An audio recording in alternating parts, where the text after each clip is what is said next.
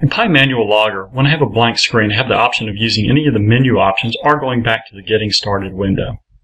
For this, I'll select Tours and New Tour. I have two options here, to do this with a wizard or without. For now, I'll do it with the wizard. So I'm entering a name of the tour and an optional description. Now I'm presented with the permissions for the tour. There's a full permission group, as detailed here. This is who can delete, add PI Tags, modify this tour. So I'll pick my admins group. And then I have the data entry only group, and I'll pick my data entry group. Again, these are done based on groups, not users. Next, I'm able to pick my PI Tags. From here, once I click on Add, I'll get the familiar PI Tag search. I'll search for my tags and select them. I can add more tags at a later time. Now I click on Finish and I'm complete.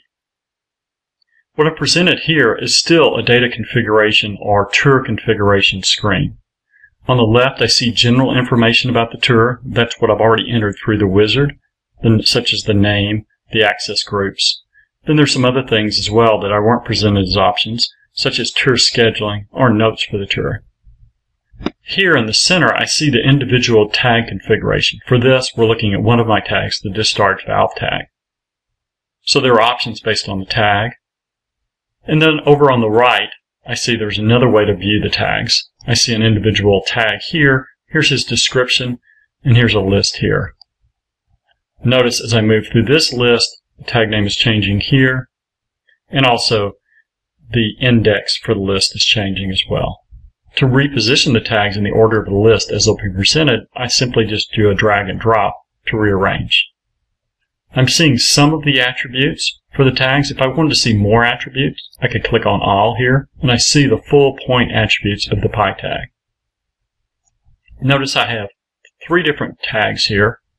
Temperature, if I look at this, look at the common attributes, this is a float 32. So a simple numeric tag that we would enter. Discharge valve state, in this case, is a digital tag using the digital state set valve position. So once the user is entering this tag information, he'll be presented with digital state choices. And then finally level, this is an int32, so a simple numeric value only. All point tag types are available to Manual Logger. There are some other options from this tree view list as well. Notice here a PI trend. If I click on here, then I'm presented with a mini trend these tags are new, so there's no data in them. But once someone had done data entry, we could see the history of that in this very much like ProcessBook trend. I can do add trace, revert, zoom, etc. Finally, there's all other options for reordering using these arrow buttons instead of the, drag and drop. And then there are other options for data validation on each individual tags. These are things like limit checking all of these other options will be covered in more advanced topics. But for now, we've completed building our tour.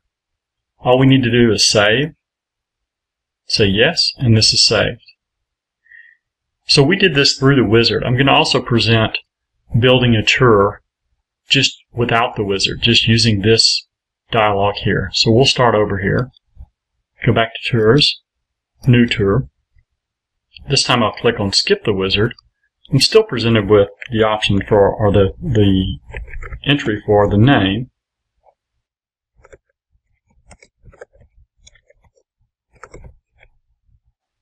And also my access groups. But once I say OK here, notice I'm in the main configuration display. There are no tags yet in the tour. I have the same options over here on the tour entry. If I look, I have an add button. I can click on add and I can select one of my tags, say OK, he's been added to the tour now. You see him in the tour list here, and we see we have one in the tour list.